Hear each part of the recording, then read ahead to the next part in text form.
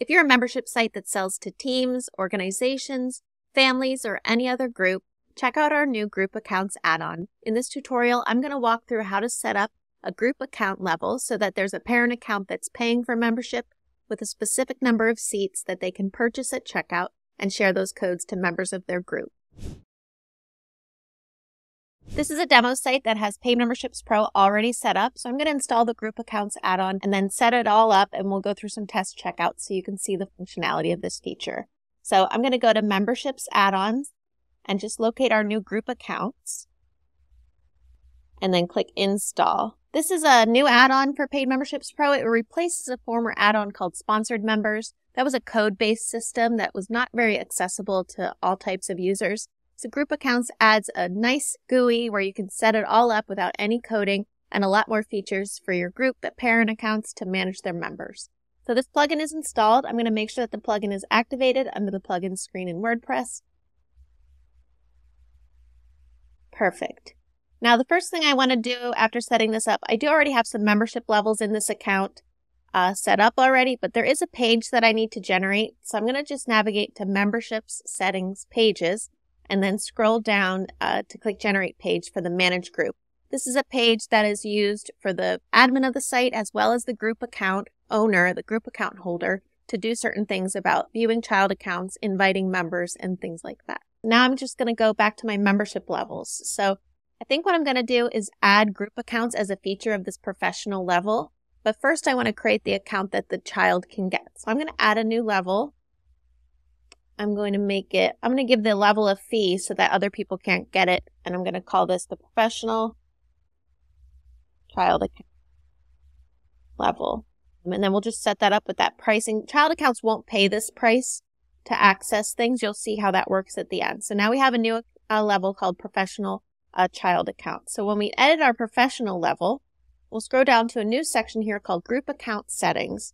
So let's just make sure we click, uh, select that uh, child level we just created, and then we'll see what additional settings show up here. So group accounts, you can either set it up that there's a fixed number of seats included in the group, like 10 seats or 5 seats, and that creates a code that the parent can share out to other people, or they can invite them by email. We'll showcase that in the demo.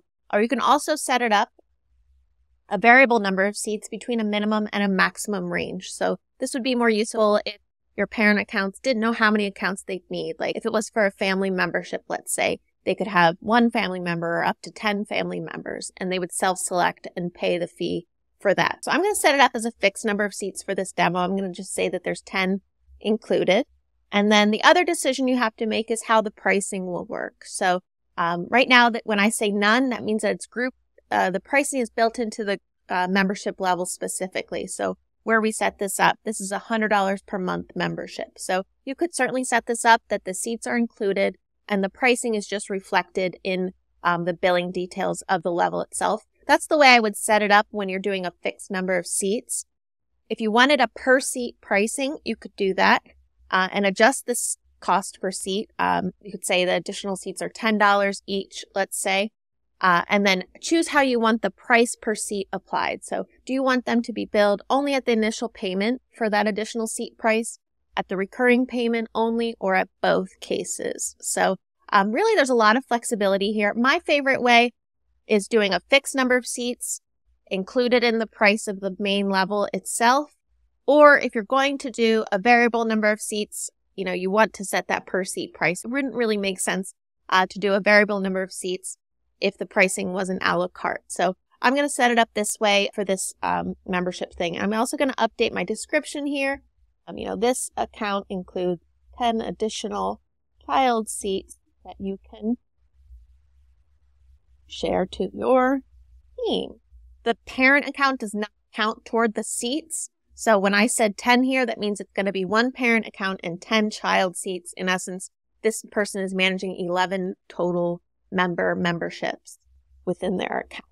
So I'll save this settings and then we'll go to the front end of the site and just do checkout for this. So here's the professional level on the front end of the site.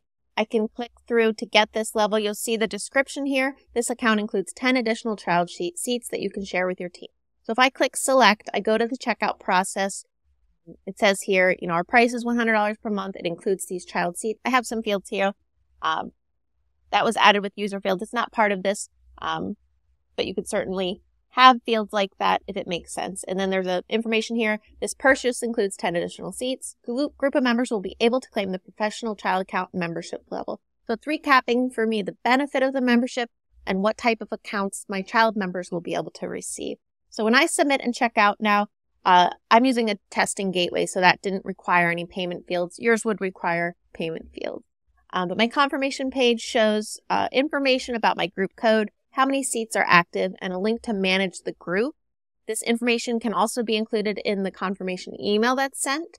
Um, based on your preference, when I'm on my membership account page as the parent holder, I have my, all my memberships will be listed here and I have a link to manage the group. So what is that interface like? I am logged as an admin to the site. So this section is only visible because I'm an admin. It wouldn't be visible to actual parent accounts. They can't uh, change the number of seats on their own without contacting you.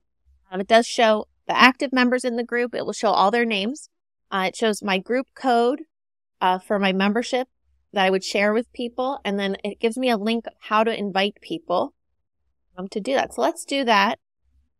I'm going to copy this link address and open a new incognito window here to do that. So here I am. I'm checking out for the professional child account level. I applied the group code.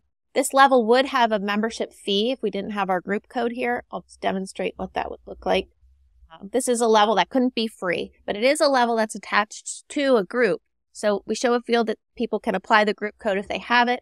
Um, otherwise, they could complete checkout for this level and just pay on their own. Um, if I click to apply the code, now it takes that pricing away, making it free for me because my manage my membership is being managed by someone else. So I can just test this here.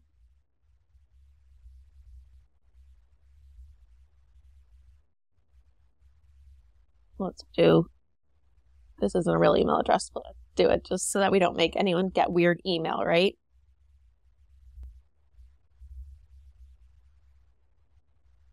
Cool.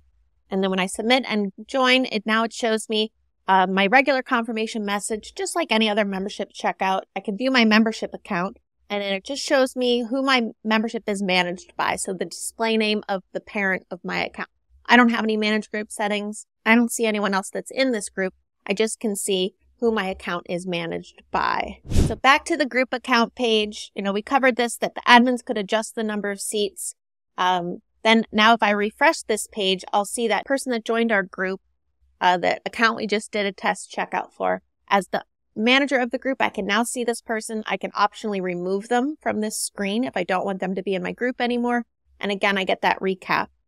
This also offers some features for that parent account to generate a new group code. When would they use this? This is really useful if, let's say it was a school and you gave a teacher 20 seats to an advanced Photoshop design course. That course was offered twice per year. The teacher could give that code out, allow their students to register, 20 students, and then at the end of that semester, they could remove all the group members, generate a new group code, and then send that out to the next cohort of students in the program. Not only if there's like a spam situation or a group code got abused, but it's also useful when the parent account needs to cycle people through in groups. Uh, this also offers one way to trigger an email off to invite people. So you can enter emails here, one per line, and it's going to kick off those emails because this is on a testing server. It has email disabled. So sorry about that, but it will kick off an email. I'll show you where you can edit that field. Um, and like I said, the seats number, you can adjust this if you want to increase the number of seats available to the group it won't change the price that they're paying. So if you were using a per seat pricing model and you as admin wanted to increase this, you'd also want to go into your payment gateway and increase their price of their subscription manually, or you can just have them check out for a new membership for their same level, but increase the seats so that they get more group codes. It's kind of a twofold option here. If you as admin want to give um, seats kind of just as a gracious gesture, increase that seat number, keep them paying the same price, or if you want them to complete a new checkout and get an accurate number of seats that they need. I'll show you in the admin where you can customize the contents of the email that's sent when a new member is invited. So if you go to memberships settings email templates, scroll down to the bottom, there's a new template called group accounts invite member. Um, and this is where you can customize the content of that group account and change um, all the settings you'd want for that. So that's it's not customizable by the parent account. It's all set across the board for the site. So parent accounts, you can instruct them to use that field to invite people, or you can just say, copy your group invite link directly to checkout. That includes your group code, and they can send their own email out to the people that are needing to claim that code. The other emails that you might want to customize for group accounts are the checkout emails that are sent when the parent joins. So there is a template variable you can use. There's lots of templates that you can use to customize these emails.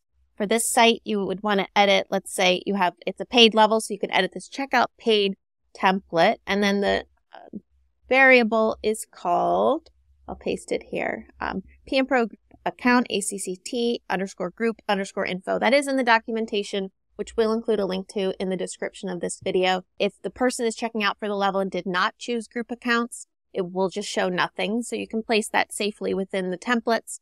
And only if group accounts were purchased or included in the membership will that populate with the same information we show on that confirmation page for the level.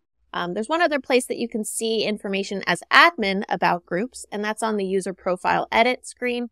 So if you scroll down, um, you'll see a new section related to group accounts on this screen with information about each user on your site, what group uh, they hold, the code for their group, how many people have claimed seats within it, and uh, what group child account is given, what level is given. So you can click through to manage the group uh, right from that user edit screen. And then if you were actually looking at a child account, for example, like the one we just created, let's find them, Kim Test groups.